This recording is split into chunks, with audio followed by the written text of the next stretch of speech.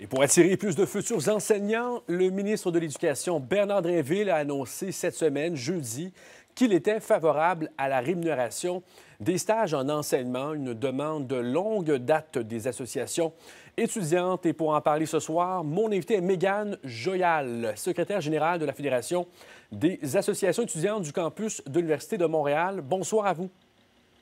Bonsoir. Alors, Bernard Drinville a déclaré, et je cite, qu'éventuellement, il faudra en arriver là. Quelle a été votre réaction à ces propos?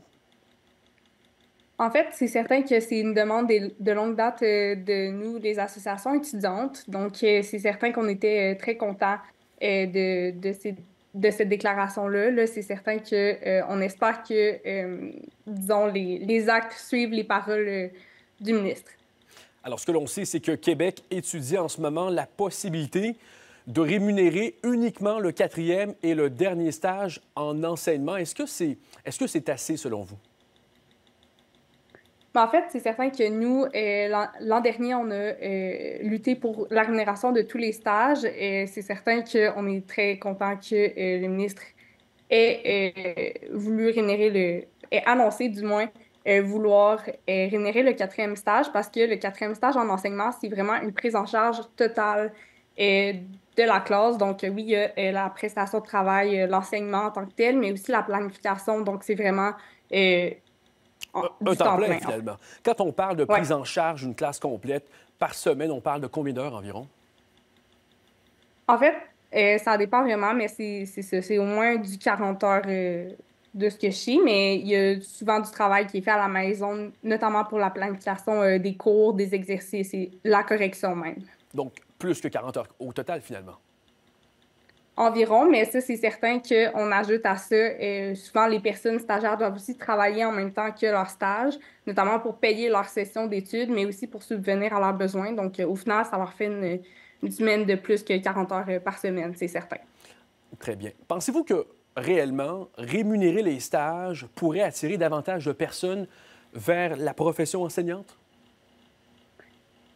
Ben, en fait, c'est certain que euh, la rémunération des stages, en fait, c'est pour valoriser la profession, c'est encourager la persévérance, euh, notamment pour euh, l'application à l'université en tant que telle, mais aussi jusqu'à la diplomation. donc, oui, on a quand même bon espoir qu'il y ait plus de monde qui applique à long terme. Parce qu'on est quand même confronté à une baisse des inscriptions dans les universités. Manifestement, il reste encore beaucoup de travail à faire pour valoriser l'éducation. Auriez-vous des pistes de solutions pour le ministre de l'Éducation ce soir qui peut-être nous écoute? Qu'est-ce qu'on pourrait faire davantage pour intéresser un plus grand nombre de jeunes dans les cégeps à se diriger vers ces programmes? En fait, c'est ça, c'est la rémunération des stages, oui, en enseignement, mais c'est certain que euh, la pénurie de main-d'œuvre n'est pas seulement en enseignement. Il y a tous les programmes euh, en santé, on peut penser au travail social, aux sciences infirmières, euh, tous les domaines, en fait, euh, en santé et en éducation. Donc, je pense que ça passe vraiment euh, par la rémunération de ces stages-là. Alors, vous espérez évidemment qu'on passe de la parole aux actes. Sentez-vous que le ministre est sincère dans ses, dans ses propos? Mais en fait, j'espère. on va pouvoir disons, je vais, le, je vais le croire quand je vais le voir, mais on, on espère sincèrement que euh, cette fois-ci, ce soit, ce soit véridique parce qu'en fait, euh, l'an dernier, il y a eu trois motions qui ont été votées à l'Assemblée nationale euh, à l'unanimité, quand même, mhm. dont par la CAQ. pour rémunérer les stages, finalement, ça n'a pas eu les effets escomptés, donc on espère sincèrement que ça fonctionne cette fois-ci. Et quand vous parlez à vos collègues, les enseignants, ceux et celles qui étudient en enseignement, sentez-vous vraiment qu'ils partagent les mêmes revendications que vous? En fait, oui, c'est vraiment une demande de nos, associations étudiantes, notamment bon, par euh, les associations étudiantes d'enseignement euh, en santé et tout ça, mais aussi par euh, pas mal toutes les associations étudiantes. Là, je pense que tout le monde est pas mal conscient que dès qu'il y a une prestation de travail, il devrait avoir une rémunération qui est associée à ça.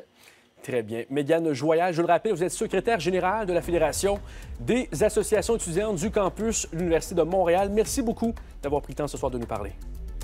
Merci beaucoup. Bonne soirée.